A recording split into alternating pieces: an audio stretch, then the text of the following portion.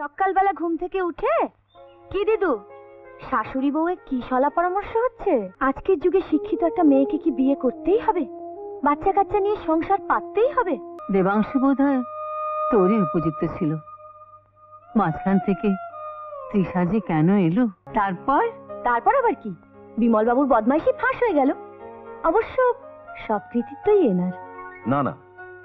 আমার ক্ষেত্রে তো কিছুই নেই। আসলে আমার বাবা ডিআইজি তাই ব্যাপারটা সহজে মিটে গেল। না হলে এ নিয়ে অনেক জল ঘোলা হতো। এখানে কেউ শরৎ বাজান নাকি?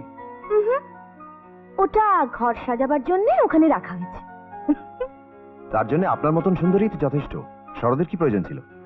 খিরে মনের মতো জবাব পেলি তো। এটা কে বাজান ঠাকুমা? ওই যে ওই সামনের দেয়ালটা দেখো।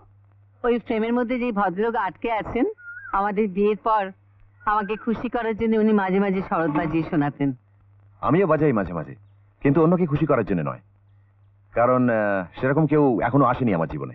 তাহলে বাজান কেন? বাজাই কেন? নিজেকে খুশি করার জন্য। বাজাতে ভালো লাগে তাই বাজাই। তাহলে একটু বাজাও না বাবা।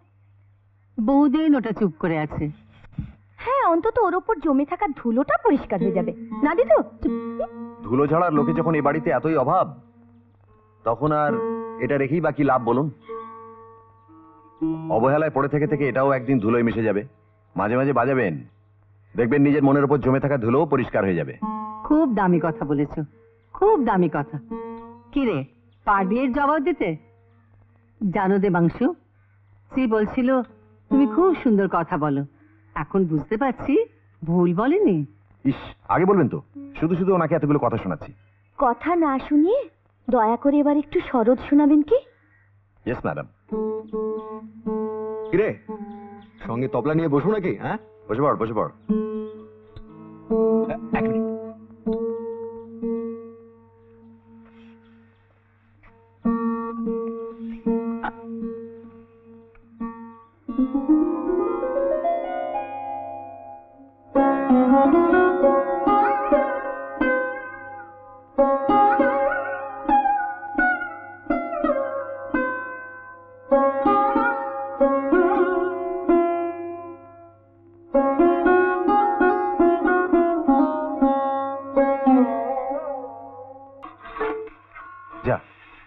তারটা ছেড়ে গেল।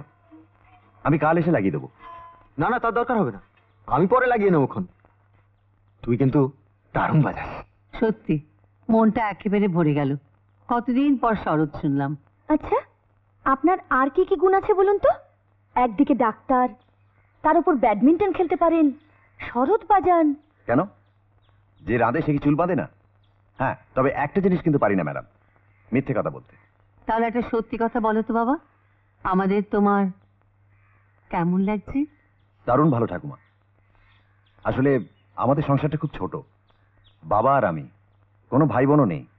তাই আপনাদের এখানে এসে এত লোকজনের মাঝে খুব ভালো লাগছে। আর আপনার মা? গত বছর মারা গেছেন ক্যান্সারে। ও। এখন মনে হচ্ছে যদি আরও আগে ইন্দ্রর সঙ্গে আলাপ হতো আরও আগে যদি আপনাদের বাড়িতে আসতে পারতাম তাহলে কত ভালো হতো। এখনও কিছু বেশি দেরি হয়নি। এসো না মাঝে মাঝে। তোমারও ভালো লাগবে আর আমাকে শরৎ শোনালে আমারও ভালো লাগবে। আর তার সঙ্গে শ্রীর আর তোমার কথা কাটাকাটির খেলা চলবে? আপাতত তা সম্ভব নয় ঠাকুমা। কেন? ও তো আগামী পরশু লন্ডন চলে যাচ্ছে। তারপর ফিরবে কি ফিরবে না সেটা ওই জানে। না না ফিরবো তো নিশ্চয়ই। ফিরতেই হবে। কারণ মাকে দিয়ে একটা কথা আমাকে রাখতেই হবে। কি কথা?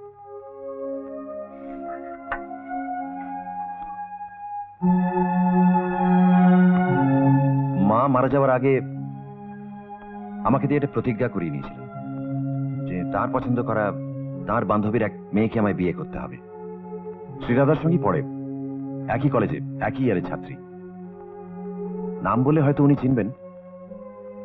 তৃষা।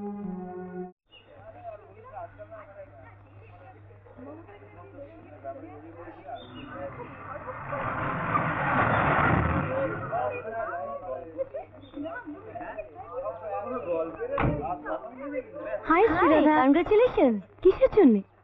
তোর হবু বরের সঙ্গে আলাপ হলো। দেবাংশুর সঙ্গে? কোথায়? আমাদের বাড়িতে। আমার জ্যাঠুতো দাদার বন্ধু। কেমন দেখলি? দারুণ। তোর সঙ্গে ওকে মানাবেও দারুণ। কিন্তু আমি মনে হয় ওর খুব একটা পছন্দের নই জানিস? নেহাতি মায়ের কথা রাখতে এ কথা বলছিস কেন? দেখ না যবে থেকে আলাপ হয়েছে কতবার বলেছি চলো কোথাও বেরিয়ে আসি। সিনেমায় যাই গ্রাহ্যই করে না। এমনকি এফএসসিএস করতে যাচ্ছে লন্ডনে। মা বাবার ইচ্ছে ছিল বিয়েটা করে সঙ্গে নিয়ে যা রাজিই হলো না। কেন? তাতে নাকি ওর পড়াশোনার ক্ষতি হবে। এনিওয়ে ক্লাস আছে। চল যাই। লক্ষ্মী? আরে দিদি তুমি? তুমি আমাদের বাড়িতে? কেন? আসতে নেই? কেমন আছিস এখন? ভালো দিদি। কিন্তু আমার বেঁচে থেকে কি লাভ? তুমি আমাকে কেন বাঁচালে দিদি? আমার মরদ তো এই মেয়ে মানুষটাকে বিয়ে করবে। তাতে তোর কি? তুইও নতুন করে বাঁচবি? আবার বিয়ে করবি সংসার করবি? আমার কপালে অত সুখ নেই দিদি। সুখ নেই। এমন মরদ কোথায় পাবো? যে আমাকে সত্যিকারে ভালোবাসবে? যে আমার সঙ্গে সারা জীবন সংসার করবে? আছে আছে। ঠিক খুঁজে পাবি দেখ না। ভগবান শুধু দুঃখ দেওয়ার জন্য আমাদের পৃথিবীতে পাঠান না। রাতের অন্ধকার যেমন আছে পাশাপাশি তেমনি দিনের আলোও আছে।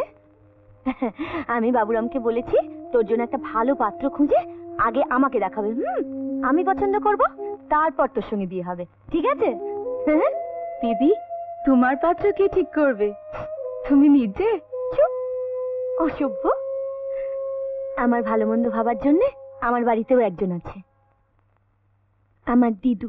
কি বললে? ছেলেটি ব্যাংকে চাকরি করে? হুম। না না, বৌমা।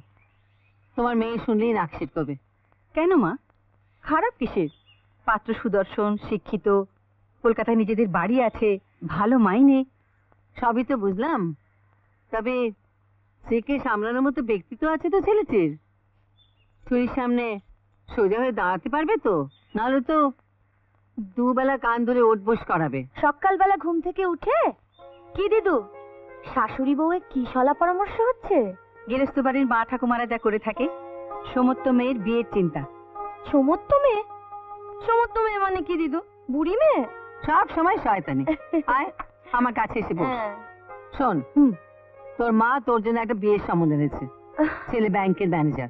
ঠিক আছে তো? শুধু শুধু সময় নষ্ট না করে কাগজটা পড়ো তো। দেখো আলুর দাম কত বেড়ে গেছে? শুনলে এই সময় নষ্ট মানে? শোনো মা এখন এসব বিয়ে ফিয়ে বাদ। এখন সামনে শুধু বিএসসি তারপর? এমএসসি তারপর? দিদুকে নিয়ে তীর্থ ভ্রমণে যাব। কেদারনাথ বদ্রীনাথ অমরনাথ। না দিদু কি ভালো দেখছেন মা কথা কি ছিরি? যা খুশি তাই করো। একটার পর একটা সম্বন্ধ বাতিল করে দিচ্ছিস। পরে বুঝবি। ওই যে কথায় আছে না অতি বড় সুন্দরী না পায় বর অতি বড় ঘরণী না পায় ঘর। তো সেই দশা হবে বলে দিচ্ছি। রাগ করছেন কেন ম্যাডাম? আমি সুন্দরীও নই ঘরণীয় নই। তাই আমার ঘরের দরকার নেই বরেরও দরকার নেই। আমি হলাম নীল আকাশে ডানা মেলে উড়ে যাওয়া এক পাখি। আমি হলাম সমুদ্রের বুকে হঠাৎ জন্ম নেওয়া এক ঢেউ। আমি জানি না কোথায় আমার যাত্রা হবে শেষ কোথায় আমার শেষ ঠিকানা। পাগলি একটা। আদিক্ষেতা আপনারা ওই করুন। আমি চলি। আচ্ছা দিদু আজকের যুগে শিক্ষিত একটা মেয়েকে কি বিয়ে করতেই হবে? বাচ্চা কাচ্চা নিয়ে সংসার পাততেই হবে? ধর তোর এই কথাগুলো যদি আমি আমার বিয়ের আগে বলতাম তাহলে তাহলে শাখায় প্রশাখায় ছড়িয়ে যাওয়া এত বড় চৌধুরী পরিবারটা আসতো কোথা থেকে? আর তোর মতো একটা মেয়ে আমার নাতনি হয়ে জন্মাতো কি করে? আর তুই না জন্মালে আমার জীবনটা কি হতো? জীবনটা অসম্পূর্ণ হয়ে যেত না? আর তুই না এলে বাবু নামের ওই মেয়েটা লক্ষ্মীটা বাঁচতো কি করে? দিদু দিদু তোমার সঙ্গে কথায় আমি কোনো দিন জিততে পারি না। সব সময় এমন যুক্তি টুক্তি দাও আমি হেরে যাই। না রে দিদি ভাই এটা তো হার নয়। এটা তো জিত বৃদ্ধ বটগাছের অভিজ্ঞতা রস টেনে টেনে তো বটগাছের ঝুড়িরা মাটিতে শেকড় গাছ তারপর সেই ঘড়িটা কোথায় যে হারিয়ে যায় কেউ তা খোঁজ পায় না। দিদি ভাই আমি তোর মধ্যেই বেঁচে থাকতে চাই। তবে একটা কথা কি জানিস? বলো। তোর মা তোর জন্য যে সম্বন্ধটা নিয়ে এসছে না সেটা আমারও মনে হচ্ছে তোর উপযুক্ত না। নটি নটি নটি সুইট গার্ল এই জন্য তোমাকে আমি এত ভালোবাসি। তুমি আমার মনের কথাটা ঠিক বুঝতে পারো। শুধু শয়তানি পেতনি। কিন্তু দিদি ভাই? দেবাংশুর ডুপ্লিকেট পাবো কোথায়? মানে আর একটা দেবাংশু। দিদু খুব খারাপ হচ্ছে কিন্তু। দিদু আমার চোখে ফাঁকি দেওয়া অত সহজ নয়। আমি কি ভাবছি জানিস? দেবাংশু বোধ হয় তোরই উপযুক্ত ছিল। মাঝখান থেকে তৃষা যে কেন এলো? এরকম আরও অনেক সিনেমা দেখতে হলে ডাউনলোড করুন ক্লিক অ্যাপ।